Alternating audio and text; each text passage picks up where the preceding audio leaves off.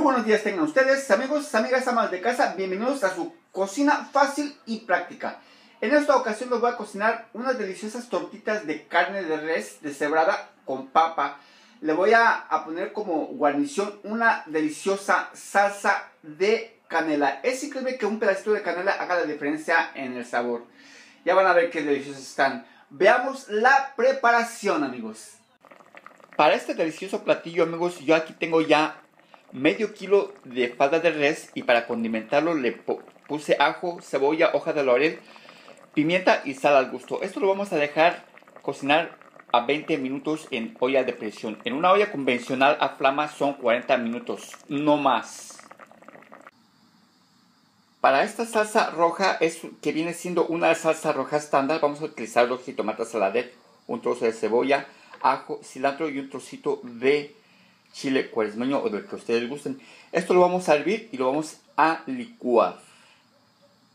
Enseguida vamos a agarrar una papa, la vamos a pelar y vamos a hacer nada más la mitad y la vamos a cortar en cuadritos de este tamaño. Esto lo vamos a poner a hervir en una ollita y le vamos a poner sal para que no se deshaga. Si no le ponen sal se te va a deshacer. ¿Ok?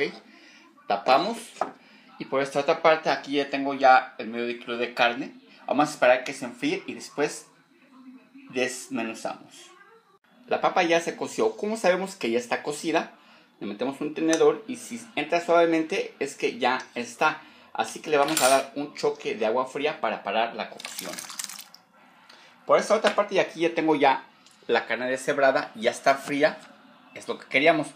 Ya está deshebrada, así que le vamos a dar un corte en diagonal. Esto es para que cuando le dé la mordida a la tortita no se te vaya a deshilachar y se te desbarate. Enseguida en un bowl como este o en un traste de su elección vamos a incorporar lo que viene siendo la carne deshebrada junto con la papa. Vamos a ponerle un poco de cebolla también. Dos blanquillos. Le vamos a incorporar también un poco de nor suiza.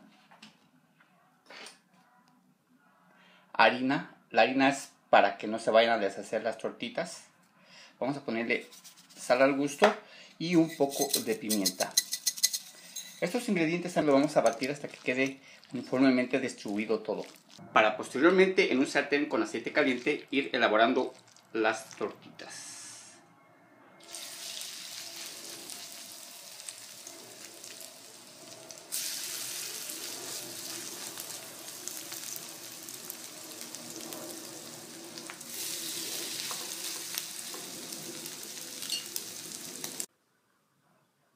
Pues estas tortitas de carne deshebrada ya están amigos, quedaron deliciosas.